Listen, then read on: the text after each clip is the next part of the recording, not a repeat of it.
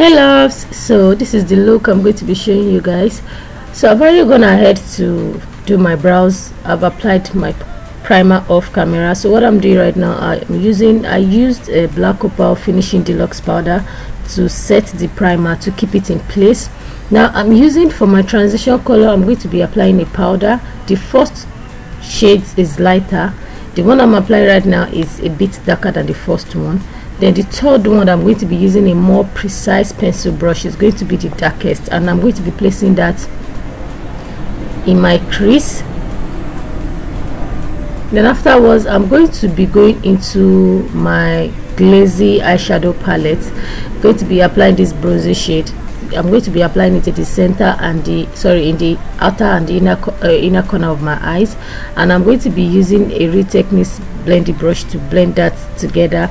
Then i'll go back into that same palette taking a more darker bronzing shade. So i'm going to be placing that just to create a dimension in my eyes. Then i'm still going to be going back to blend that. So i'm just going to be doing one eye for you guys in this tutorial so that i won't make this video too long and boring while i'm going to be doing the other eye off camera. So it's the same palette. I'm going to be picking a teal eyeshadow color placing that in the center of my lid. So for me to in order for me to make it pop and make it look nice i'm going to be going into a loose liquid a loose glitters and a liquid glitter. I'm going to be applying a teal color glitter which is the liquid one.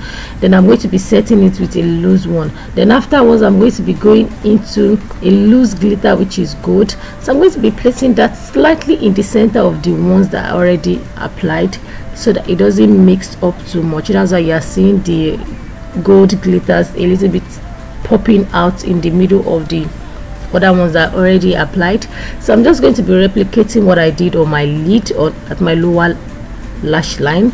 And afterwards I'm going to be applying my gel liner which is from Kite as you all know that I'm so stuck and so obsessed with Kite because it's it's waterproof and it's very very nice super dark very nice.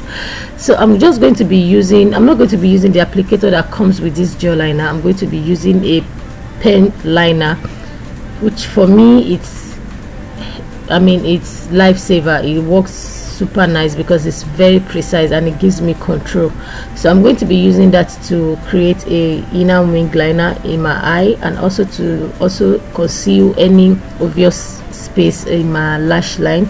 And also use a white pencil to open up my eyes a bit. So i'm going to be applying that in the center of my rim my eye rim just to make it open up a bit. Actually i was inspired to make this look by gabriel franco. I stumbled upon his instagram and do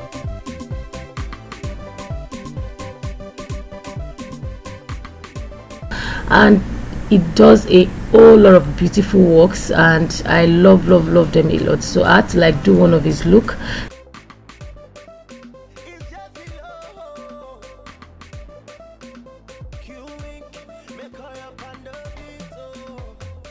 Guys what do you think about this eye makeup look? It's super nice for me.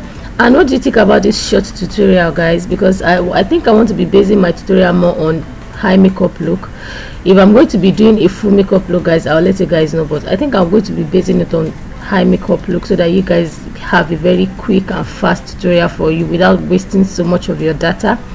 And please guys don't don't be scared to subscribe please. I notice a lot of people when you ask them to subscribe they're always scared if they are going to be taking their money or something. It's free guys. It's just like when you're subscribing when you're following someone on instagram or adding someone on facebook. So guys this is the finished look. This egg was inspired by me. I have a tutorial on this egg already.